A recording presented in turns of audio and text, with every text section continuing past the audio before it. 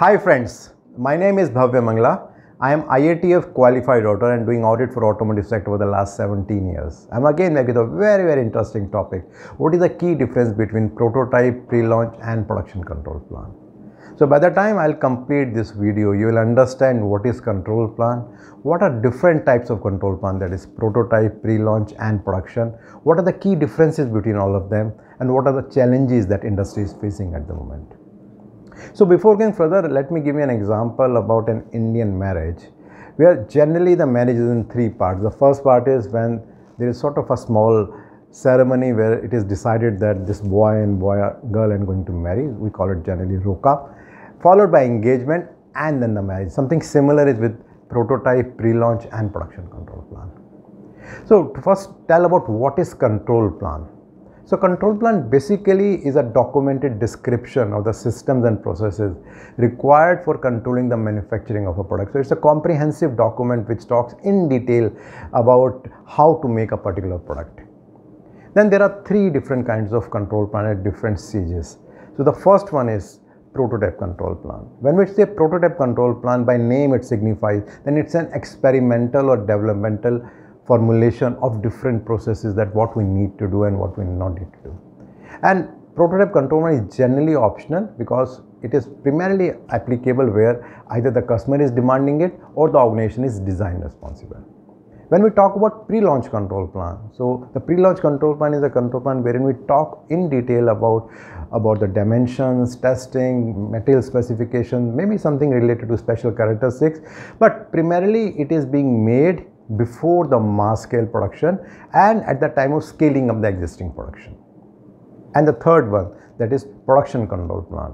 So this is a control plan which is made in much more detail about the dimensions, testing, special characteristics and many other things and this is primarily at the time of a normal production. In general, when we talk about control plan, we generally say that it's a live document and it should be regularly updated as and when changes are happening in the organization.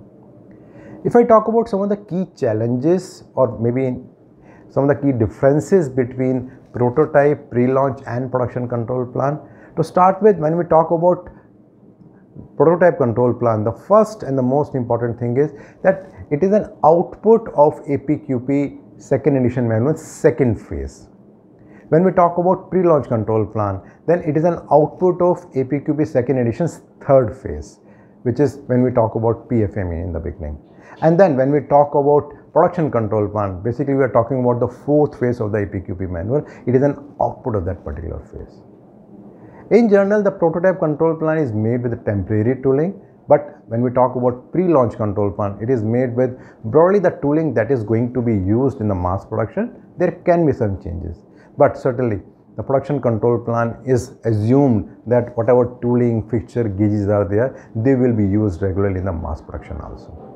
When we talk about prototype control plan, generally the number of samples that we have prepared are 2 to 5 depending upon the customer requirement.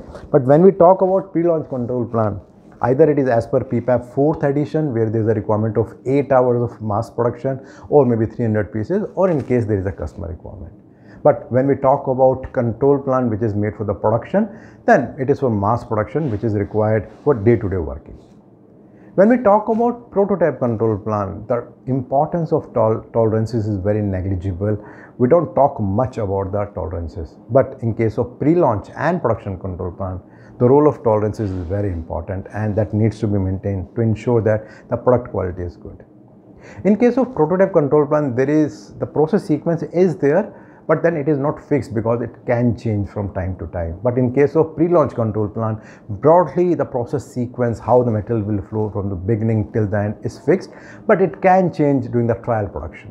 But in case of production control plan, everything is freezed and everything is being done as per the customer approval. In case of prototype control plan, generally there is no special characteristic which is being defined. But in case of pre-launch and production control plan, special characteristics are defined and they are being followed as per the requirement. Since we are making only few pieces, 2 to 5, the sample size is generally 100% for inspection. But in case of production control plan since we are making approximately 300 pieces at the most, so the sample size may be set after 50 pieces we need to check that what is the dimensions and what are the other things which is happening or not. But in case of mass when you're doing the mass production. So at that time, it depends upon the requirement or as per the customer approval, it can be two to five pieces after every two hours. In case of prototype control plan, the inspection frequency is 100 obviously because we are making only 2 to 5 pieces. But in case of pre-launch control plan, the inspection frequency will be a little bit higher. But in case of mass production, when we are doing at that time it will be as per the agreement with the customer. Generally it is after every 2 hours or 4 hours depending upon the criticality. In case of production control plan generally the evaluation method like the use of gauges measuring instruments all temporary because we don't know exactly what is the final output that is going to be there. But in case of pre-launch control plan generally the evaluation method is fixed. At times while doing the trial production there is a possibility there can be some change. So that can reflect in the production control plan in case of prototype control plan, since we are making couple of pieces, so there is no statistical study. But yes, in pre-launch control plan, we do see the process that how the process is working and uh, what kind of uh, stability the process is giving.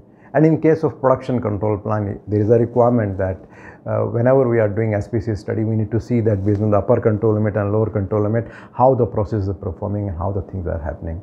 No need for any Poka-Yoke in prototype control plan, but in production control plan as well as production and pre-launch control plan, Poka-Yokes are required. And sometimes during pre-launch stage when we are doing the trial production, depending on the requirement, we may add some new Poka-Yoke depending upon the requirement.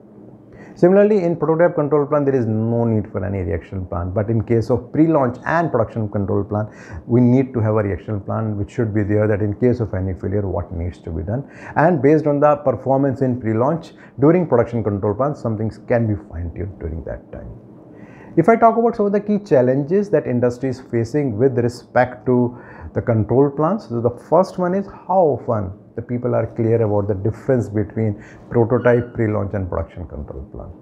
Secondly, even if we are clear about it, it's very common to see that we use the same control plan which is being used in the pre-launch for the mass production also and generally the tick mark which is there between prototype pre-launch and production that still remains at pre-launch because we don't feel that there is any difference between pre-launch and production control plan and thirdly and the most important thing we generally say that control plan is a live document, but you may see in the statistic, even after five years, you still find the same revision number of the control plan. So that shows that how much it is live document. So if I talk about some of the key differences again as a summary between prototype, pre-launch and production control plan. So when we talk about prototype control plan, so basically it is an output of APQP second edition's phase 2 there is no need for any Poka-Yoke, no reaction plan, the sample size is 100%. So broadly it is we are everything doing 100% there. When we talk about pre-launch control plan, so basically it's an output of phase 3 of APQP manual. So here the sample size is comparatively higher the sampling frequency is also higher. The evaluation method is broadly freezed but can change later on. And broadly during this study, we also do the SPC study to see that how the process is behaving at this moment. And when we talk about production control plan, it's an output of fourth phase of APQP manual. In this, the sampling plan is fixed, sampling frequency is fixed, the evaluation technique is also fixed. And we do the SPC study to see that whether the process is capable of meeting the requirements or not. My next video will be with respect to the key difference between planned and unplanned shutdown. I'm regularly getting a lot of feedback from your side and they're helping me to understand your expectation. So please do continue that. And in case you want to understand this particular video a little bit more in detail, if you see there's a link below, if you click that you'll find a blog and there you'll find in much more detail about this particular video. And in case you're liking these kind of videos and blogs, you can subscribe to my YouTube channel and my website bhavyamangla.com. Thank you.